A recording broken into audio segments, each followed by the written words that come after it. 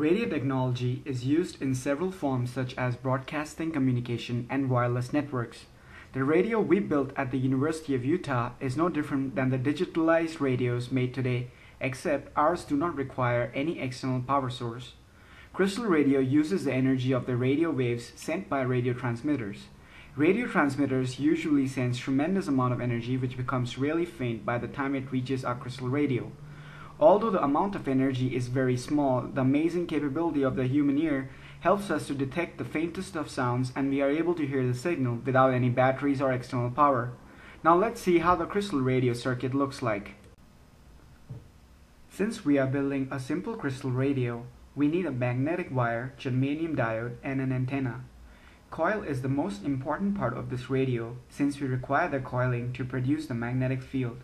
Our primary objective is to make the circuit resonate so that we can receive the signal from the air. Coil is our inductor, whereas the capacitance of our antenna is reacting with the inductance of the coil to resonate at the frequency of the radio station.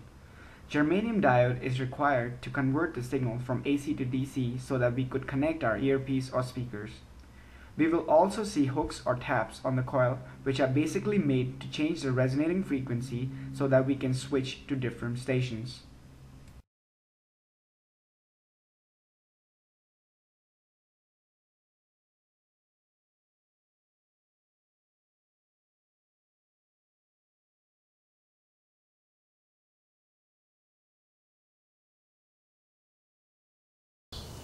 Hi, my name is Rohit Pathak. I'm a student at the University of Utah, and today I'll be talking about radios. Well, radio communication is a very important part of day-to-day -day life. We, we, use radio everywhere in our cars, houses. But can we come up with a radio which does not require an external power source? Well, Crystal Radio is, uh, you know, radio which we made at the University of Utah, which detects the signals from the radio transmitters and through amazing capability of human ears, which you know records the well, which which can hear the faintest of sounds, can enable us to hear the signal. Well, uh, first we'll go over how the crystal radio is built, and then we'll see how it works. Well, before we go ahead, let's kind of backtrack on how the, uh, the crystal radio generates or receives power. Well, as I said before, the radio transmitter generates a lot of power or energy, but by the time it reaches the radio or us, it becomes really, really faint, probably one billionth of a watt. And in these circumstances, you need a circuit which can amplify this sort of a signal, and therefore we have crystal radio. Now, how does it, you know, receives or how does it generate power? Well, it's kind of like, uh, you know, if you hit a bell through a hammer.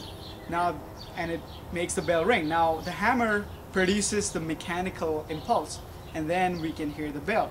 Similarly, we need to resonate the uh, circuit. We need to make the circuit resonate so that we can, you know, convert the noise into some sort of, you know, audible signal. And therefore, we have this coiling all over this uh, cylindrical base and we have the, num the more number of coils the more power it will generate and uh, more eh, you know audible our signal will be. The germanium diode is basic diode is basically used to uh, convert the AC signal to DC without that you won't be able to plug in your speaker or earphone and therefore the signal won't be as you know nicely heard as it should be. And uh, you know after that if uh, everything is put together nicely, uh, we should be ready to get some good signal out of this. Well, uh, enough of talking now, and uh, I'm really excited to test this radio, so let's see if we're getting uh, any radio station.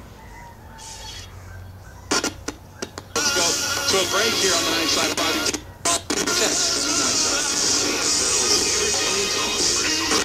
Well, uh, it works, and uh, which is great. Uh, if you were wondering uh, what are these uh, hooks on all over the uh, crystal radio, well, these are the points where we get different resonating frequency. So if we connect a wire on, you know, different hooks, we'll get a different station. And since it's a crystal radio, it has its limitations, and maybe you won't get as many, you know, radio stations you get in your car stereo, maybe at, a, you know, a home radio but um, you will get at least two to three different channels on this uh, crystal radio. And uh, like any other radio communication device, we need an antenna. So antenna is just a wire which is connected And uh, usually, the longer the antenna, the better the signal you'll receive. But uh, you know, 20 feet wire which we connected, it's just external external antenna. Uh, should be fine to receive signal. So um, let's try out uh, if we can get some different stations out of this crystal radio.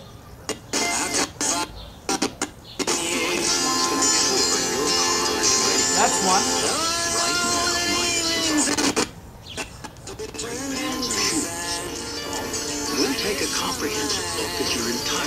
And uh, there's there's a convolution of two different signals, which you know might not be clear at this point of time, but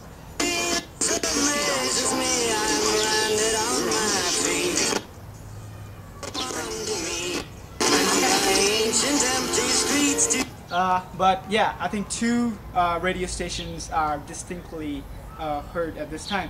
So this is pretty much the uh, Crystal Radio. If you build any, uh, enjoy and you know see if you can get more than two radio stations on yours.